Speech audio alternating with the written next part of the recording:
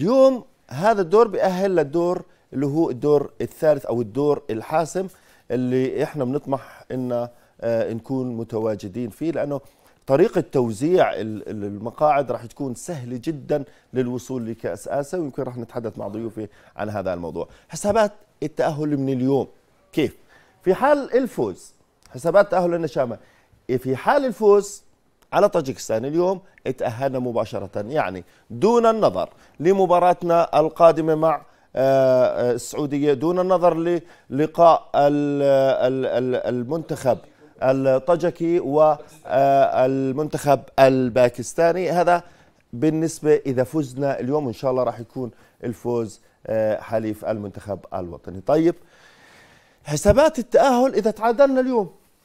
إذا تعادلنا اليوم مع طاجكستان شو راح يصير؟ بدنا نستنى للجولة الثانية.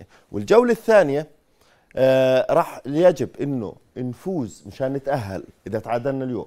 لازم نفوز على المنتخب السعودي دون النظر لمباراة طاجكستان مع الباكستان. ليه؟ لأنه السعودية عشر نقاط الأردن سبع نقاط آه، طاجكستان خمس نقاط والباكستان دون أي نقاط. وبالتالي تعادلنا اليوم إذا فزنا على السعودية راح إيش؟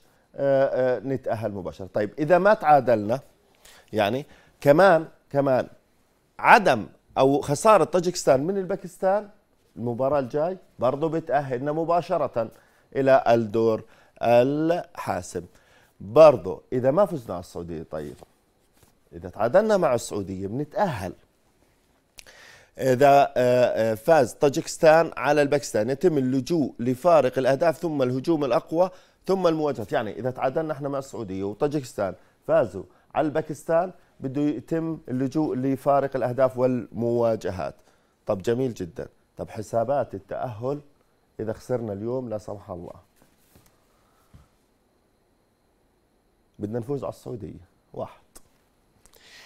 وطاجكستان تخسر مع الباكستان. يعني الباكستان على أرضها وجمهورهم ولعبهم يعني بدهم كيف يعني بدنا نستنى يفوز الباكستان على طاجكستان؟ في طاجكستان. فبتكون صعبة جدا. يجب أن نفوز على السعودية؟ ويجب. تخسر طاجكستان مع الباكستان. طب غيره؟ نتعادل مع السعودية وخسارة طاجكستان مع الباكستان. وهيك بيكون اللجوء لفارق. يعني بصراحة جماعة الخير الفوز لا بديل عن الفوز. خلينا نسكر هالوول كله ونطبق هاللي حكيته. هذا كله